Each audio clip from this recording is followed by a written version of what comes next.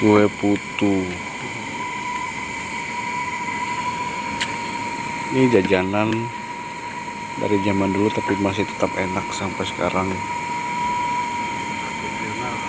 Iya tradisional. Jadi kelilingnya sampai ke mana aja pak kalau malam itu? Di sini ada gunung belah, oh gunung Trio kayak ke sini jarang-jarang sih makanya iya. kali ini ya Memang sengaja dibikin jalan, oh gitu ntar terus. muter ya jadi nggak ada jalur-jalur utannya ya Iya. ya bentuknya kayak lembang tapi itu cetakannya dari apa ya pak Sambil. oh bambu ya kue putu. Bahan utamanya itu ini ya pak ya? Tepung beras. ya tepung beras.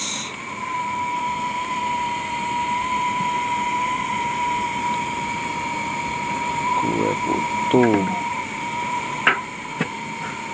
Cara masaknya pun sangat unik ya.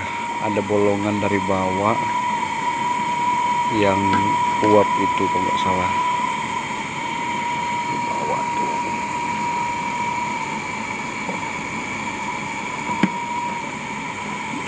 nah itu caranya kayak gitu. Ada lubangnya nah. untuk mengeluarkan uap panas dari bawah. Untuk mematangkan mau dibilang adonan juga enggak tapi semacam campuran apa gitu ya. Padat dipa, dibikin padat gitu ya supaya lebih ini ini, ada, ini cerobongnya ini apa ya pak ya fungsinya apa ini pak Ini fungsinya untuk manggil pembeli. Oh.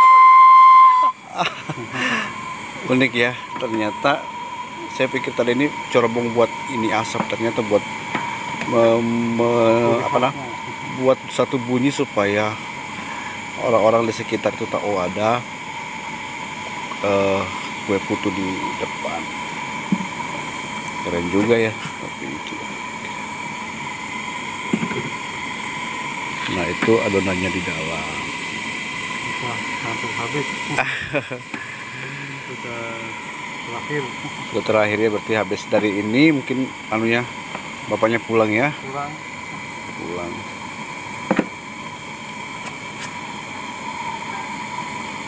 oke mungkin sekian dulu tetap kita ah, menyukai jajanan-jajanan tradisional karena itu adalah warisan dari leluhur kita.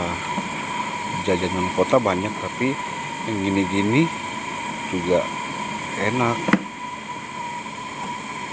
Oke. Terima kasih